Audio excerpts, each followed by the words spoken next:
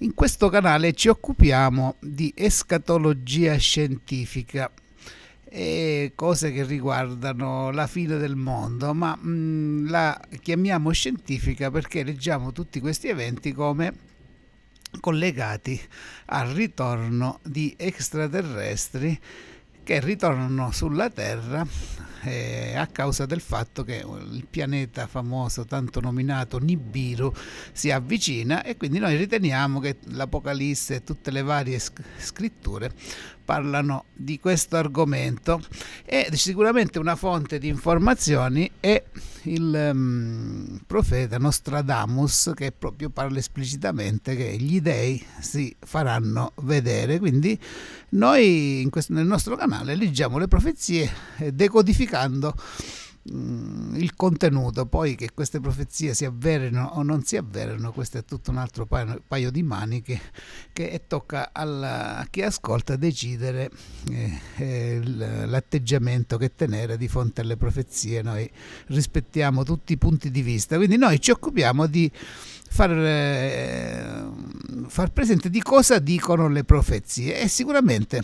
eh, nelle profezie di Nostradamus è ben evidente eh, la presenza di una eh, siccità e di cambiamenti climatici che noi eh, riteniamo essere collegati al ritorno di questi extraterrestri che favorirebbero questi eventi per fare in modo che un'umanità attanagliata dalla fame compri il cibo da loro che lo producono negli impianti di desalinizzazione che noi segnaliamo visibili da Google Earth, quindi c'è una, una playlist vacche grasse e vacche magre in cui noi sviluppiamo questo tema mh, mm, con tutti i vari dati annessi e connessi e con, eh, collegati con l'attualità, questi eventi che riguardano il Medio Oriente, in particolare tutte le zone eh, tra eh, il Tigri, l'Eufrate e il Nilo, quindi tra la Siria e l'Egitto, che sarebbero, ospiterebbero questi impianti pronti a produrre cibo, mentre in tutto il mondo c'è una grande siccità. E questo sembrano, secondo noi, raccontare le profezie, varie profezie sembrano tutti eh, concordare in questo tipo di racconto. E all'intorno di questi cambiamenti climatici però Nostradamus ci segnala degli eventi di caldo esterno, quindi, estremo, quindi qui vediamo una centuria 48 gradi in Francia e eh, segnala che i pesci eh, in Grecia si, si, questo Negroponte è un mare eh, Golfo Eubeo si chiama, è un mare molto chiuso e quindi è facile che in presenza di caldo l'acqua si surriscaldi. Quindi racconta che in, nel Negroponte i pesci saranno semicotti e gli, e gli abitanti a, a, incominciare lì verranno, quindi convergeranno delle persone in questa zona dove ci sarà un caldo estremo.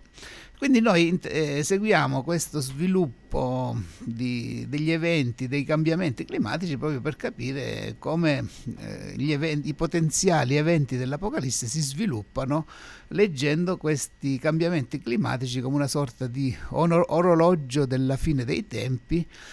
e quindi eh, cerchiamo di capire cosa succede nel clima. E, e, qui vediamo altri eventi anche eh, l'isola di Scozia il gelo invaderà, quando terra, mare, aria, gelo saranno perversi. Quindi vediamo cosa sta succedendo nel clima. Qui il um, Bruno di Collapso Mondiale, questi canali eh, brasiliani che, che, sono molto attenti a questa chiave di lettura di quello che sta succedendo, segnala che eh, la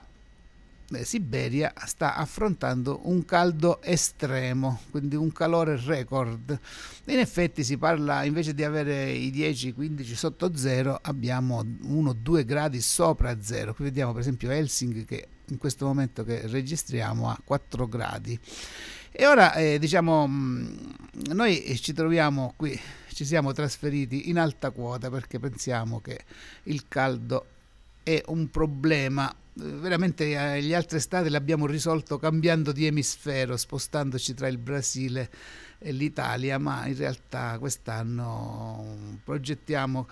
di eh, passare l'estate come abbiamo fatto l'anno scorso sopra eh, i mille metri di quota eh, dove il caldo diciamo, è quasi assente e sopportabilissimo, niente di che. E quindi stando in questi posti abbiamo mh, sperimentato di persona degli eventi estremi, degli eventi che qui la stampa di Torino riporta 26 gradi eh, a Torino e 20 gradi sulle piste da sci, quindi cose eh, le chiama follie termiche. E quindi vediamo da cose eh, sono generate, facciamo un breve riepilogo di, della questione tecnica, il Sole e la Terra, a causa della sua inclinazione, ha delle zone che vengono molto riscaldate dal Sole e zone che vengono riscaldate poco e queste due zone sono separate da una linea ideale che viene chiamata in meteorologia fronte polare. Quindi la Terra è uno mm, scambia calore tra le zone dove ce n'è molto e le zone dove ce n'è poco. Quindi c'è un meccanismo di scambio termico e più è il calore che la Terra trattiene a causa dell'effetto serra e più questo scambio termico aumenta, generando nuovi fenomeni climatici dovuti al fatto che la Terra deve scambiare una quantità di calore maggiore. Abbiamo visto che i sistemi di scambio sono le correnti marine, quindi per quanto riguarda la nostra situazione di cui parleremo, l'Europa è la corrente del Golfo che eh, minaccia, secondo alcuni teorici, di fermarsi a causa dell'addolcimento delle acque derivanti dallo scioglimento di tutti i ghiacciai della Groenlandia. E poi noi abbiamo segnalato che il meccanismo tradizionale in cui questa, questo fronte polare era diciamo una linea dritta eh, non vale più, si è deformato, quindi ci sono delle incursioni di calore eh, sia di gelo che viene verso sud che di calore che viene verso nord. Ma gli eventi attuali eh, invece stanno dando un'altra spiegazione a questo fenomeno di eh, anomalia termica nel nord Europa. Stiamo vedendo in questo momento, basta accendere il telegiornale, delle tempeste estreme nel nord Europa. Qui vediamo, quindi sono e se si vanno a vedere le temperature dell'Inghilterra si parla di 8 gradi, sono delle, dei, è un getto caldo.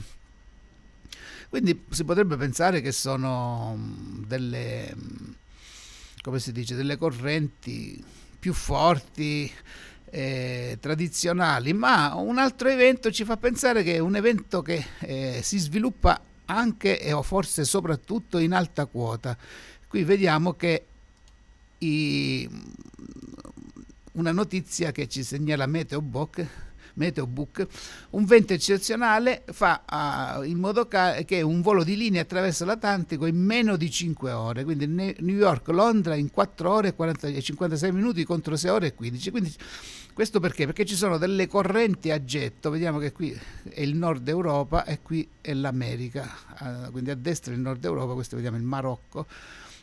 Quindi eh, ci sono state delle correnti, delle correnti a getto anomale che hanno fatto in, perché le correnti a getto ci sono sempre e vengono sfruttate dagli aerei di linea per arrivare prima. Invece in questo caso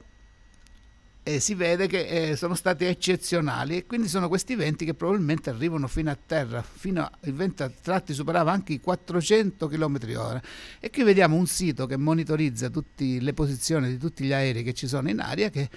conferma che c'è questa zona di fortissimi venti, si parla, gli aerei di linea viaggiano a 14.000 metri. Quindi che cosa abbiamo? Abbiamo una sorta di asciugacapelli che sprutta, eh, eh, manda aria calda sull'Europa. E questo è un bel problemaccio, per perché quello che si temeva, cioè lo, scioglimento del permafrost, cioè il, eh, il, la miscela di terreno, ghiaccio, acqua, congelato che c'era nel nord, in Canada e in, ehm, in Siberia, mm, si, eh, si sta verificando. Quindi queste sono le condizioni eh, per avverarsi di quello che si temeva, lo scioglimento del permafrost. Quindi vediamo un articolo che mm, si, sotto, eh, si sofferma su queste eh, cose. Quindi, tra le drammatiche conseguenze del riscaldamento globale è indispensabile collocare anche lo scioglimento del permafrost. E perché? Perché lo scioglimento di, eh, del permafrost libera dei gas serra, CO2 e metano che vanno a incrementare in modo esponenziale il problema, quindi sostanzialmente c'è una sorta di effetto a valanga che eh, poi eh, si innesca un processo inarrestabile, qui dice c'è uno studioso del, dell'Università del Canada che sottolinea la pericolosità e si sta sciogliendo con 70 anni di anticipo sulle previsioni, sulle vecchie previsioni. E quindi andiamo al sodo, a che serve fare diciamo, i catastrofisti? Serve perché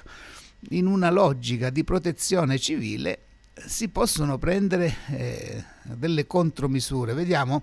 il, primo problema che si ha in presenza di caldo estremo è il collasso dei climatizzatori. Vediamo che questo è uno schema di come funziona un climatizzatore, c'è l'interno della casa e c'è una sorta di sespentina in cui il gas è freddo e si, cerchiamo di essere schematici e trasmette fresco all'interno questo, diciamo, il compressore con, collega con una unità esterna che è calda e deve scambiare caldo col, con l'esterno. Ora queste unità esterne tradizionalmente sono progettate per affrontare temperature intorno ai 32 gradi che sono considerate le, eh, il clima estivo tipico. Invece con questa nuova situazione funzioneranno a 40 gradi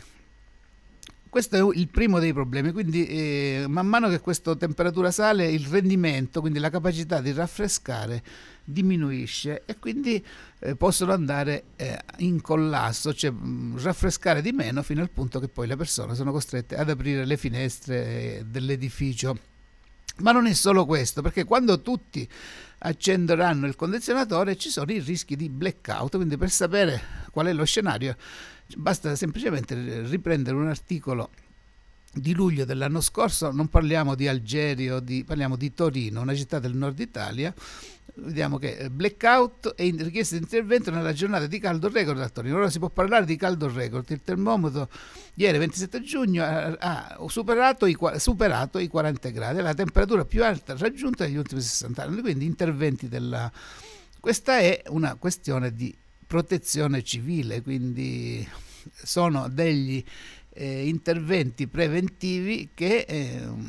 lo Stato dovrebbe realizzare per creare dei luoghi rifugio eh, che non sono soggetti a questo problema dei blackout e dei diciamo eh, collasso dei climatizzatori. Qui vediamo proprio un passo di questo articolo in cui eh, racconta che gli autobus sono andati in crisi, problemi anche sui bus, alcuni dei quali hanno raggiunto temperature vulcaniche. Il caldo torrido sta facendo lavorare peggio gli impianti di aria condizionata che viene inoltre dispersa all'aperto dalle porte, eccetera, eccetera. Quindi perché eh, fare catastrofismo? Non, bisogna chiamarlo catastrofismo, bisogna far, chiamarlo protezione civile, quindi se uno mh, tiene la ruota di scorta in macchina perché, perché è un catastrofista che pensa continuamente che bucherà, no, siccome l'evento eh, bucare una gomma può essere affrontato con uh, facilità, invece di diventare catastrofico, di richiedere l'intervento di un carro attrezzi, di poter bloccare per due o tre ore, si risolve in pochi minuti la,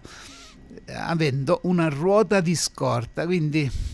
il catastrofismo può diventare ehm, utile se viene chiamato prevenzione e strategia di eh, prevenzione dei rischi, che è una cosa che è ritenuta eh, più che normale.